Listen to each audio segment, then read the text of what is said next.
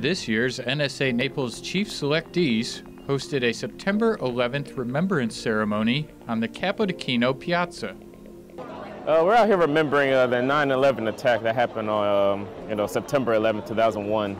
We want to remember our past. We want to remember those who actually died, you know, with dignity and honor. We want to remember them and not forget. Because if we don't know our past, we don't know where we're going. It affects me, affects all of us in, in uniform, even out of uniform, because we actually go out to actually serve. We know what we're signing up for. We're going out to serve so people back home, our families, our friends, our loved ones can stay safe and they know they can sleep well at night while we're out fighting the good fight. Reporting from Naples, Italy, I'm Petty Officer Casey Hopkins.